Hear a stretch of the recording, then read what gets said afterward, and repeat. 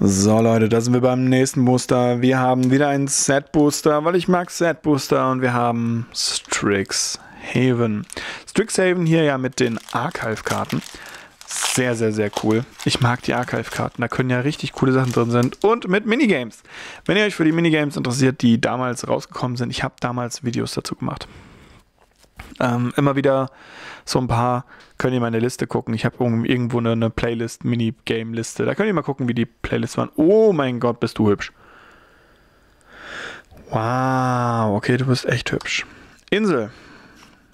Und wir haben eine Miraculous Transformation. Zwei Mana ist eine Lesson, die im Sideboard ist. Und bis zum Ende des Zuges äh, bringen, was? Ah ja, genau ist ein Non-Land Permanent, verliert alle Fähigkeiten und wird entweder zu einem Frosch, der 1-1 ist, oder einem blauen Oktopus mit 4-4. Okay, was bist du? Also die Artworks sind so strange. 3 Mana 3, 2. Wenn der Spiel bekommt, kriegen wir zwei Leben. Spring Main Survey. Leech Fanatic. Oh ja, Silverquill. Silverquill sind die besten. 2 Mana 2, 2.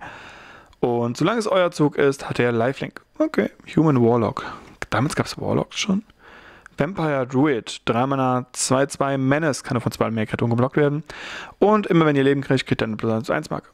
Okay. Spectre of Defense, 4 Mana, 2-3 fliegend, 6 Mana, der Gegner verliert zwei Leben, ihr kriegt zwei Leben.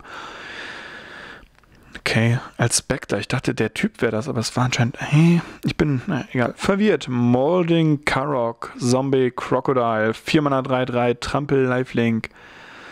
Ach ja, ach ja. Die grün-schwarzen waren schon. Die, die, die waren, also Witherbloom waren schon seltsam. Dann haben wir eine Serpent, 5 Mana 3, 5. Für 4 Mana kann eine Kreatur nicht geblockt werden in diesem Zug. Wurmholz Serpent, okay, es ist. Ach, Wurmloch, ja, macht Sinn. Oh, wir haben eine Rare. Devastating Mastery für 4 Weiße und 2 farblos. Oh mein Gott. Und ihr könnt 4 Mana zu bezahlen, statt die richtigen Mana-Kosten zu bezahlen.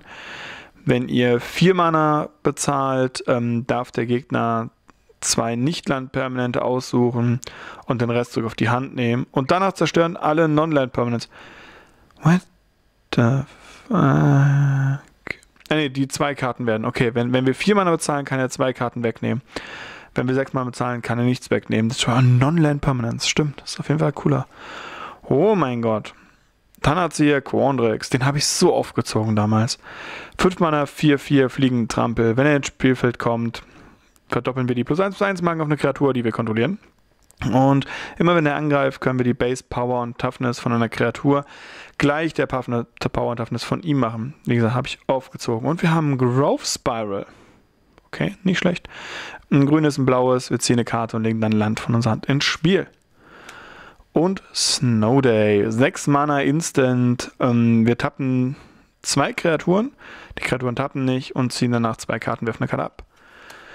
Ja, Minigame. Das war doch ganz cool. Wir sehen uns dann beim nächsten Mal. Bis dahin, euer Blickseht. Ciao, ciao.